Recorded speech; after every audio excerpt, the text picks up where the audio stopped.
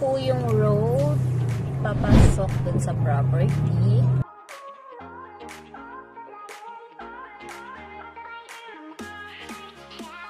Po ay Dolores Quezon.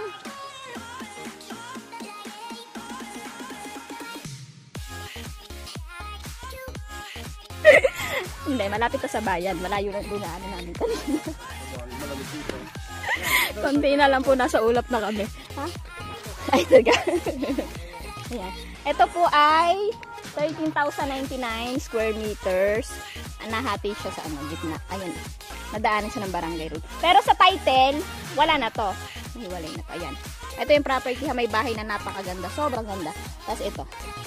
Ayan. Pwedeng gawin mo dito. Itong tirahan mo. Itong kabila naman. Ibenta mo. Subdivide natin. May kung kapang tanim mo. Ayan. Galing po nito mag-sale stock. May pongkandang tanim. May lansones. Sorry, ang dami. Rambutan, ang dami. Direct po kami dito.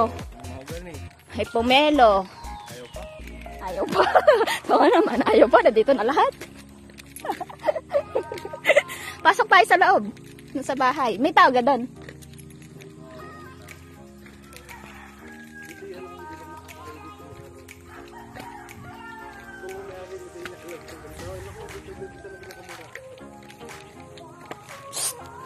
Napakaingay mo ga. Ano ba yun? Kung sasaga. Yan. Two lane road. Kasang kasa. Bakit yan? Hoy, ano nakalak to? Ito yung bahay niya, oh. Ayan, oh. Yan ang bahay, oh. Ayan, oh. Ayan. Ang ganda nito. Nahati siya sa gitna. Malayong dinaanan namin kanina kasi doon kami galing sa Kabatang Road. Kaya akala ko sobrang layo niya. Tapos paakyat siya. Kaya feeling ko, nasa dulo na kami ng ano.